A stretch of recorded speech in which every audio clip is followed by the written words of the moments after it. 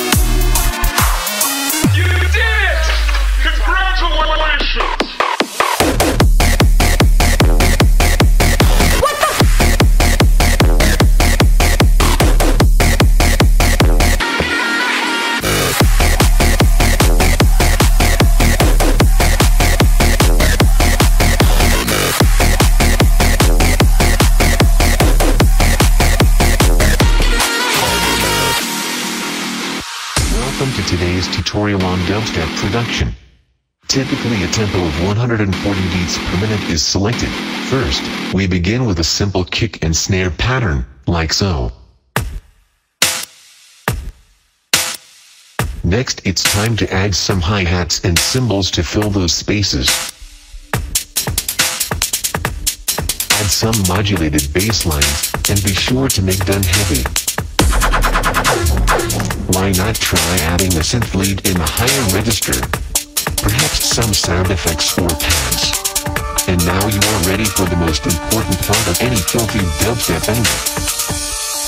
The drop.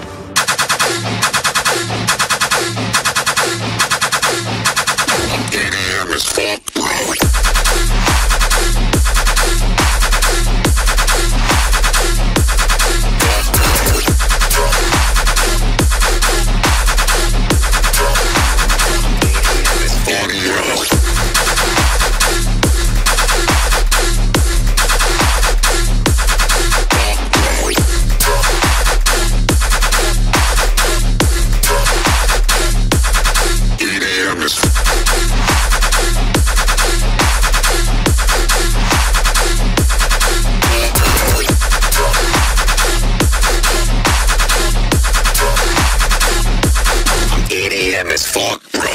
Permission to swag out, permission granted.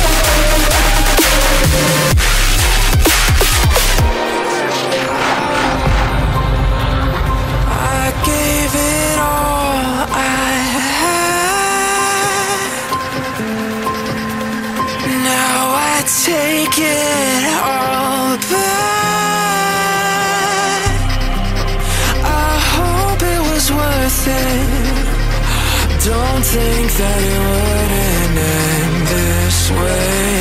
Your perfect masquerade.